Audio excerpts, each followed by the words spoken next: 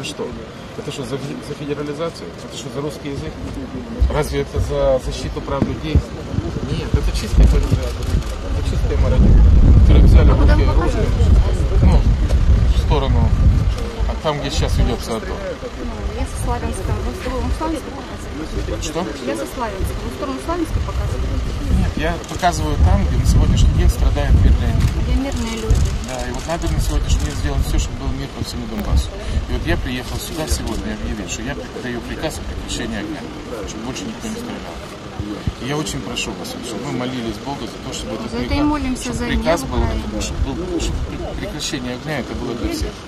Чтобы с той стороны тоже это услышали перестали стрелять. Чтобы люди наконец-то начали договариваться. Правда же это будет лучше. Согласны? Знаете ответы на все вопросы. Поэтому это вот на сегодняшний день вот мы нет смысла, нет, нет причины, ни- ничто не толкает людей, вот ни Дайте приказ сегодня отозвать войска. нет, Смерть даю, не может радовать православных. Вы же православные. я православный. Я даю сегодня все приказ прекратить и сложить оружие. Один вопрос еще можно? Смотрите, мы с Красного Креста, мы эвакуируем людей отсюда. Первый вопрос, который задают люди, когда мы их вывозим, они спрашивают, когда они могут вернуться обратно. Я Что- очень что надеюсь, что Смотрите, вот я, я очень надеюсь, что это будет после сегодняшнего приказа о прекращении огня. Я очень надеюсь, что вот или те детали плана мирного урегулирования, которые будут предполагать собой не просто прекратить огонь, а выделить средства на того, чтобы отремонтировать разрушенные дома, чтобы людям было жить. И все это сделать за счет государства. Восстановить рабочие места. Сделать там, проблему, чтобы, это, чтобы громада решала, на А каком как вы языке тому, говорить. чтобы бизнес к этому привлечь э, в рамках э, сотрудничества ответственный бизнес, чтобы бизнесмены помогали? Вчера я провел первую встречу сначала со всеми субъектами местного самоуправления Донбасса. Я пригласил мэров, пригласил э, депутатов местных советов, пригласил э, глав, э, мест, ну, глав местных советов. Это были не назначенные президентом, это были избранные людьми. Это была крупный легитимная власть. помогает? Это была первая встреча. И второе, пригласил всех, всех крупный бизнес. Были там все герои Украины от Донбасса, весь крупный бизнес, который все директора предприятий. И ребят, вот, вот презентация мирного плана. Вы за, А мы за. области, Харьковская, Запорожская, Там сегодня нечего обсуждать, там все за это. Там все за это. А вот на сегодняшний день там четырем мэрам городов с оружием в руках запретили приезжать. Мы говорим о мире, а их не пускают. Разве это правильно? Петр Алексеевич, Это все в ваших руках, абсолютно все. Вы же избраны законом. А вопрос. В Лавре находятся диабетики. Я благодарю вас за это. Петр Алексеевич, в Лавре находятся диабетики, люди, у которых есть эпилептические припадки, медикаментов в городе нет. Ну вот заходит такая информация, что в определенный момент нас могут перестать сюда пускать гуманитарной помощи. Смотрите, я объявляю сегодня прекращение огня. Если прекращение огня наступает, то мы получаем возможность доставить сюда лекарства, медикаменты. Здесь-то еще ну, относительно нормально. Да, есть здесь люди там, перемещенные, люди, которые вынуждены были уехать. А представьте, что творится в зоне действия АТО. Захвачены банки, не, не ходят платежи. мы были там, мы были в мы не можем. мы возим туда гуманитарную Аб- аб- помощь Абсолютно регулярно. очевидно. Захвачено казначейство, пенсионеры не имеют возможности денег получить. Зачем вы банки захватываете? Обращение. А по поводу людей, которых мы уже вывезли в Харьков, сам- самого Да. Славянска, вот с Донецка, Славы постоянно вывозим, у них один и тот же вопрос, э, даже не то, что вернуться, вот получить пенсии, потому что сейчас харьковчане собирают деньги и начинают им давать. То есть э, бюджеты Я местные провел, смогут это заседание, смотрите, обеспечить. я провел заседание Совбеза. В рамках Совбеза я отдал приказ. Вот как только мы объявляем режим прекращения огня, те, в тех городах, где он поддержан, мы сразу же включаем и режимы казначейства, и режимы выплаты пенсий, и завоз денег, и все остальное.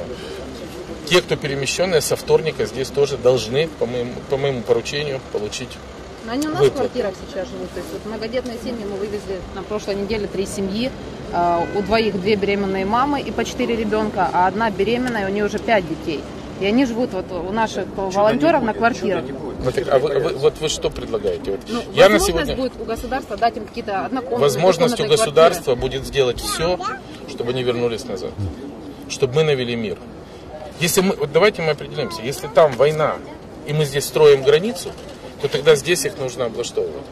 Если там мир, и мы наоборот ликвидируем границу и сделаем все, чтобы восстановить места, где они жили, это правильно. И вот сегодня это мой подход. Девушка из Славянска приехала. Алексеевич, а, значит, 7 числа прошла инаугурация президента. Мы, как нормальные, адекватные люди, уже поняли, что у нас есть президент. Мы возвращаемся домой в Славянск. И э, приезжаем где-то часов 10, э, успели из оставшихся там остатков воды помыться, принять душ. Ну, ни воды, ж, ни света нет уже, ж третья неделя в Славянске.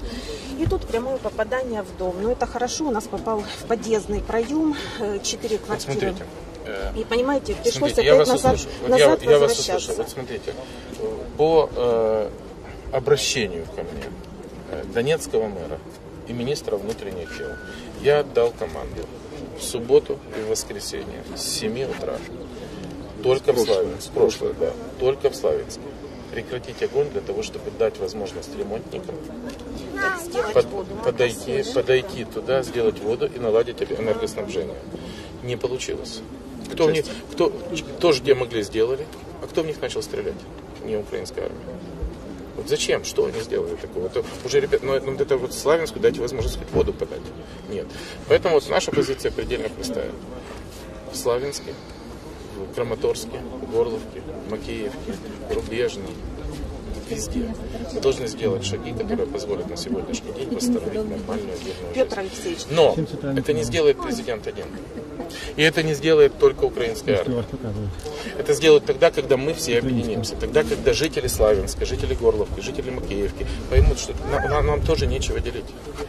Мы все должны выйти и говорить друг с другом, должны находить точки соприкосновения, должны восстанавливать мир, должны восстанавливать жилье и все остальное. мы понимаем, Петр Алексеевич, а, задача этой войны, не уничтожить город, потому что у нас уже Да создается Бога. впечатление, Ну, что еще раз, нас я же не просто- говорю о том, что вот, вот единственное, где сейчас, к сожалению, могут продолжиться действия, это если в рамках буферной 10-километровой зоны на границе с Россией, потому что, ну, на сегодняшний день, к сожалению, э, тяжелая военная техника, танки, системы залпового огня, пушки, они же попадали оттуда.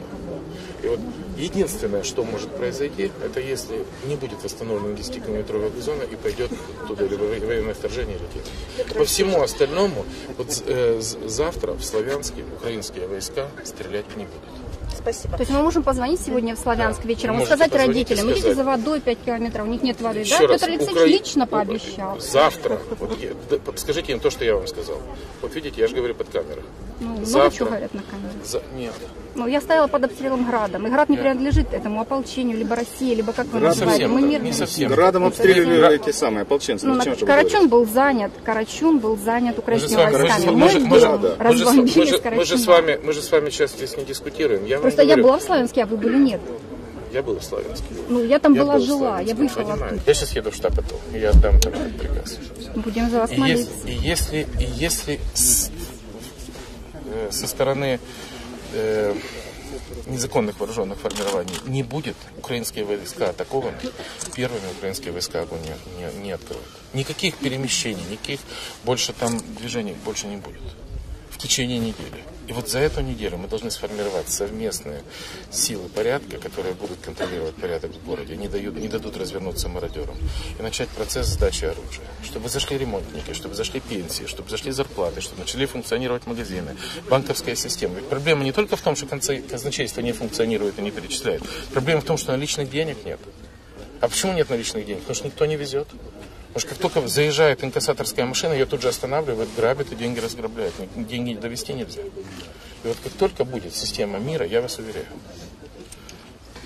90% людей, по какую бы сторону антитеррористической операции не находились, не хотят мира. Я в это верю. Я сделаю все, что от меня зависит, для того, чтобы этот мир пришел в зону АТО. Неделя будет для того, чтобы те, кто хотят мира, сегодня обратились, в том числе и к незаконно вооруженным формированиям. Слушай, тебе ничего не угрожает. Президент примет амнистию. Президент пустит совместные э, силы для патрулирования. Сдайте оружие, перес- перестаньте убивать. Но вы же отличаете мирных жителей. Вот моих родителей им 70 И вот мы восстановили контроль над границей, он со стороны Российской Федерации попытался прорваться на территорию Украины. И он был захвачен нашими войсками в районе Мариуполя. Вот внутри находятся документы. Вот военная часть 18-й десантной бригады город, э, Чечня. Вот оттуда приехали, захватили. Что им здесь делать? Ну что, мы без них не разберемся. Зачем? Что он здесь делает? Вот зачем он сюда Ну приехал? вы же согласны, что не жители Славянска звали сюда их? Нет, нет, нет. И вот поэтому жителям Славянска, нужно сказать, ведь было очень много видео, когда жители Славянска говорили, вы здесь у нас ставите блокпост, идите отсюда, у меня здесь дети, и я не позволю вам здесь стоять. Вот сегодня надо, чтобы этот голос Славянска был громче. Украинская армия свой шаг сделала. Э, Реакция э, незаконных вооруженных сил формирований мне неизвестна, но я очень рассчитываю на реакцию жителей Славянска. Мы на вас надеемся.